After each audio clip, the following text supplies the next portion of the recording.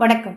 இது ஆதி தமிழச்சி YouTube channel. நான் உங்கள் ஆதி தமிழச்சி நம்ம ஆதி தமிழச்சி யூடியூப் சேனலில் வாராகி தேவி பற்றி நிறைய வழிபாட்டு முறைகளையும் வாராகி தேவியை இஷ்ட தெய்வமாக வழிபடுபவர்கள் செய்ய வேண்டிய மற்ற ஆன்மீக பரிகார சூட்சம முறைகளையும் தொடர்ந்து பதிவு செய்துட்டுருக்கிறேன். தொடர்ந்து பாருங்கள் இருபது நான்கு ரெண்டாயிரத்தி இருபத்தி மூன்று அன்று பார்த்தீங்கன்னா ஒரு இரண்டு மணி நேரம் முக்கியமான நேரமாக இருக்குது ஒவ்வொரு நாளுக்கும் ஒவ்வொரு திதிக்கும் ஒவ்வொரு நட்சத்திரத்துக்கும் ஒவ்வொரு கிழமைக்கும் பார்த்தீங்கன்னா சில முக்கியமான நேரங்கள் வரும். அந்த நேரத்தை நம்ம சரியாக பயன்படுத்திக்கிட்டோம் அப்படின்னா நம்மளுடைய பண பிரச்சனைகளாகட்டும் குடும்ப பிரச்சனைகளாகட்டும் நிச்சயமாக தீரும். அதை மாதிரி பார்த்திங்கன்னா பணம் வேண்டாம் அப்படிங்கிற ஒரு மனிதர் யாருமே கிடையாது. ஏன்னா அதனுடைய தேவை ஒவ்வொருத்தருக்கும் ஒவ்வொரு மாதிரி கண்டிப்பாக இருக்கும். அது மாதிரி பார்த்திங்கன்னா அஷ்டலக்ஷ்மிகளும் வந்து ஒரு வீட்டில் குடியிருந்தால் தான் அந்த வீடு செல்வ செழிப்புடனாக இருக்கும். செல்வ செழிப்புடன் பணப்பற்றாக்குறையே இல்லாமல் நகையாகட்டும் தன தானியங்களாகட்டும் பணமாகட்டும் இதெல்லாம் பார்த்திங்கன்னா குறைபாடே இல்லாமல் சேர்ந்துக்கிட்டே இருக்கும். வீண் விரைய செலவுகள் ஏற்படாமல் இருக்கும். அந்த வீட்டில் பார்த்திங்கன்னா நோய் நொடி இல்லாமல் இருக்கும். வீண் வாக்குவாதங்கள் இதை மாதிரி பிரச்சனைகள்லாம் இல்லாமல் இருக்கும். அடுத்தது இன்னொரு தரப்பு என்னென்னு பார்த்தீங்கன்னா எல்லா வசதிகளுமே இருக்கும். ஆனால் குடும்பத்தில் பார்த்தீங்கன்னா ஏதாவது வ வருமானமும் வந்துக்கிட்டே இருக்கும். செலவும் வந்துக்கிட்டே இருக்கும். அது மாதிரி குடும்பத்துலேயும் பார்த்தீங்கன்னா ஒரு நாலு நாள் சந்தோஷமாக இருக்கிற மாதிரி இருப்பாங்க எல்லோரும். அப்புறம் ஒரு நாலு நாள் வந்து கண்டிப்பாக ஏதாவது பிரச்சனையாகவே இருக்கிற மாதிரி இருக்கும்.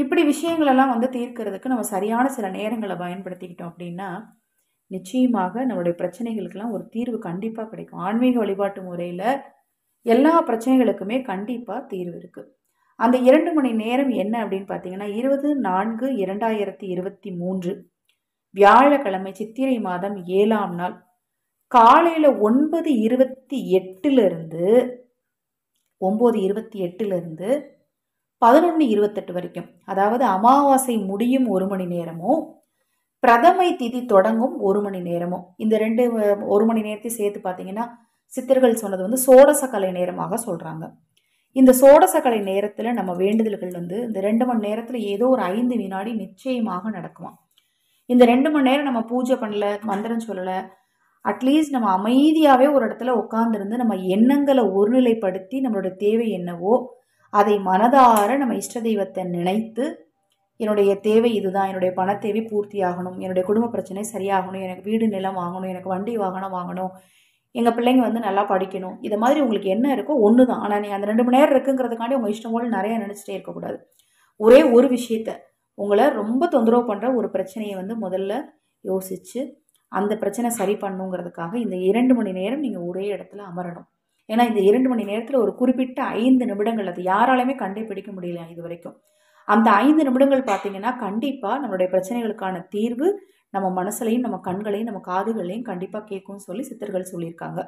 அதாவது அமாவாசை முடியும் ஒரு மணி நேரமும் பிரதமை திதி பிறக்கும் ஒரு மணி நேரமும் அதே மாதிரி தாங்க பௌர்ணமியிலையும் வரும். பௌர்ணமி முடிகிற ஒரு மணி நேரமும் பௌர்ணமிக்கு அடுத்த பிரதம திதி வர்ற அந்த ஒரு மணி நேரமும். இந்த நேரத்தில் நம்ம அமைதியாக இருக்கிறது வந்து ரொம்ப நல்லது. முடிந்தால் கூடுமான வரைக்கும் உங்களுடைய இஷ்ட தெய்வத்தை மூல மந்திரம் இஷ்ட தெய்வத்தோட மூல மந்திரத்தை மனசுக்குள்ளே ஜெபிச்சுட்டே இருங்க. ஏன்னா உங்கள் பிரச்சனை என்னென்னு கண்டிப்பாக உங்கள் இஷ்ட தெய்வத்துக்கும் குலதெய்வத்துக்கும் கண்டிப்பாக தெரியும். உங்கள் பிரச்சனையை நீங்கள் ஒரு நொடி நினைத்துட்டு உங்கள் இஷ்ட தெய்வத்தோட மூல மந்திரத்தை உங்களால் எத்தனை முறை அந்த ரெண்டு மணி நேரத்தில் சொல்ல முடியுமோ அத்தனை முறை சொன்னீங்கன்னா கோடிக்கணக்கான பலன் நிச்சயமாக கிடைக்குமா? நேரத்தை இன்னொரு முறை கூட சொல்கிறேங்க நாளைக்கு காலையில் ஒன்பது இருபத்தெட்டுலேருந்து பதினொன்று இருபத்தெட்டு வரைக்கும் ரெண்டு மணி நேரம் ஒரே இடத்துல இருக்க போகிறீங்க முடிந்தால் மந்திரம் ஜிவிங்க கூடுமான வரைக்கும் வீட்டில் அந்த நேரத்தில் இருந்து தீபம் எரியிற மாதிரி பார்த்துக்கோங்க. வாராயுதி வழிபாட்டில் மிக முக்கியமானதாக கருதப்படுறது பார்த்திங்கன்னா தீப வழிபாடு தான் நல்லெண்ணெய் ஊற்றி பஞ்சுதிரி போட்டு தீபம் ஏற்றி வைங்க. நிச்சயமாக உங்களை தீர்க்க முடியாத அத்தனை பிரச்சனைக்கும் தீர்வு கிடைக்கும்.